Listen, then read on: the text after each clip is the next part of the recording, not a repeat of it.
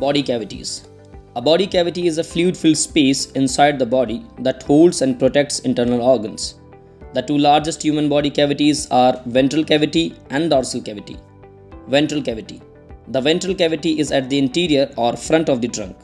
Organs present within this body cavity are lungs, heart, stomach, intestines, and reproductive organs.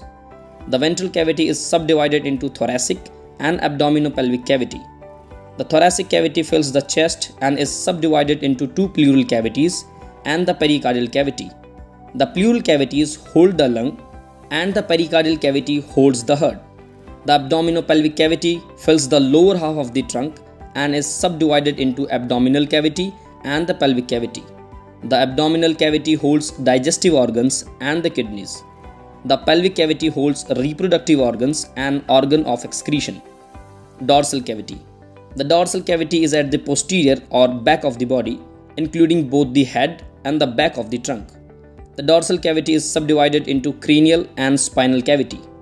The cranial cavity fills most of the upper part of the skull and contains the brain and the cerebrospinal fluid. The spinal cavity is a very long, narrow cavity inside the vertebral column. It runs the length of the trunk and contains the spinal cord. The brain is protected by the bones of the skull and the spine is protected by the vertebrae of the spine. A three layer membrane called as meninges further protects the brain and the spinal cord. A thin layer of cerebrospinal fluid is maintained between two meningeal layers. This fluid provides nutrition and cushioning to the brain and the spinal cord.